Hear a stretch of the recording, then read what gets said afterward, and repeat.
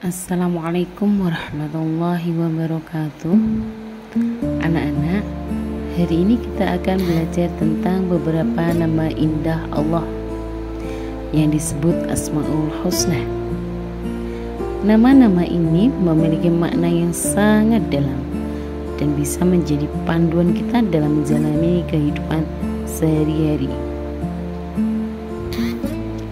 Nama-nama yang kita, yang akan kita bahas hari ini adalah Al-Malik, Al-Aziz, Al-Qudus, As-Salam, dan Al-Mu'min. Sebelum pembelajaran kita mulai, mari kita berdoa terlebih dahulu. A'udzu billahi minasyaitonir rajim. Bismillahirrahmanirrahim. Rabbi zidni ilma warzuqni fahma. Ya Allah, tambahkanlah kepadaku ilmu dan berilah aku karunia untuk dapat memahaminya. Asmaul Husna Asmaul Husna berasal dari dua kata yaitu al-asma yang memiliki arti nama-nama dan al-husna yang memiliki arti yang paling baik atau bagus. Asmaul Husna adalah nama-nama terbaik atau paling baik. Jumlah Asmaul Husna ada 99.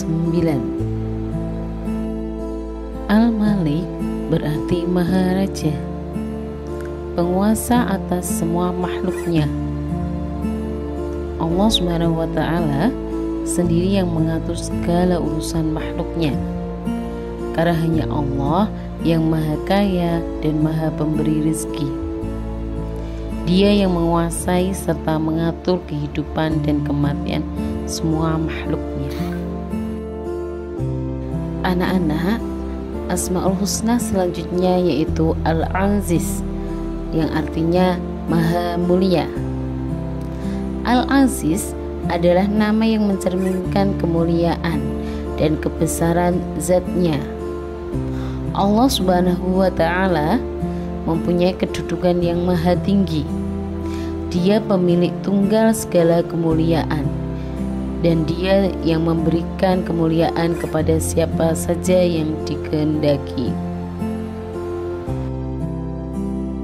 Kudus berarti yang maha suci, yang mengajarkan kita untuk selalu menjaga kebersihan diri, hati, dan lingkungan kita.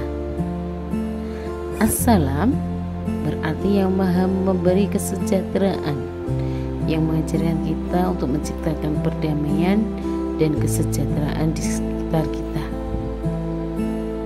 Mari kita bersama-sama menjaga kebersihan lingkungan kita sebagai bentuk penghormatan terhadap kesucian dan kesejahteraan yang Allah berikan.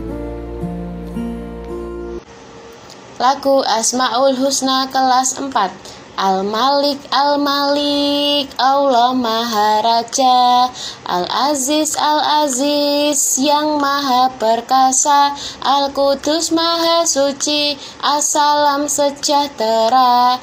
Al-Mumin Allah pemberi keamanan.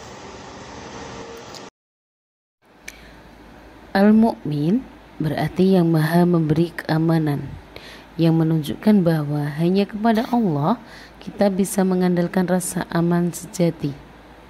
Kita juga diajarkan untuk menjadi pribadi yang memberikan rasa aman dan nyaman bagi orang lain.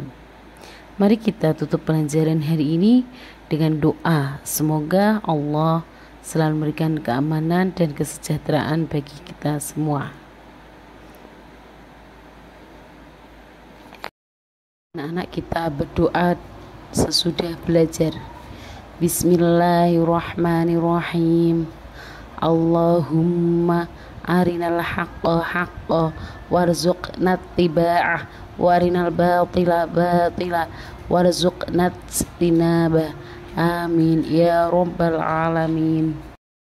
Mari kita akhiri. Wassalamualaikum warahmatullahi wabarakatuh